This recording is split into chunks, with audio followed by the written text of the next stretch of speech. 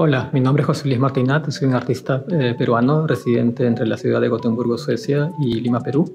Para Pinta Miami estaré participando con la Galería Unique y estaremos presentando una selección de obras textiles. Trabajo con diferentes técnicas que van desde el dibujo al video, el bordado y la instalación. Las técnicas con las que trabajo dependen mucho del concepto que esté desarrollando. El punto de partida de estas piezas es, es la creencia política y religiosa en el mito de la idea de progreso en la sociedad occidental y cómo esta ha sido instaurada en el resto del mundo.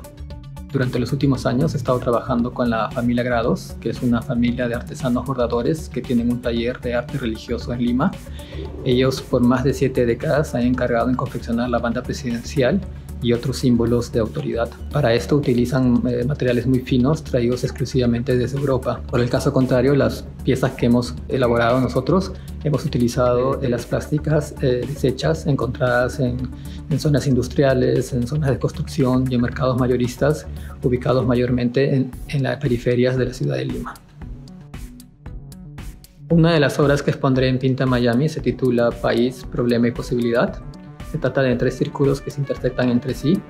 Los círculos están formados por los sinónimos de las palabras país, problema y posibilidad.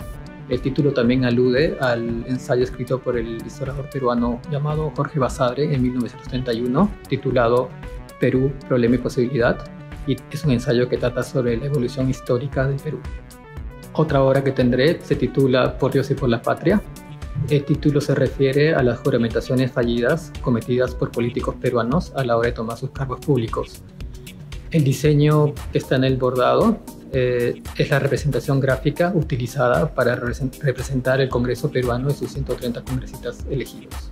Otro bordado más se llama Bandera 1 y los textos bordados son eslóganes electorales extraídos de la historia política peruana.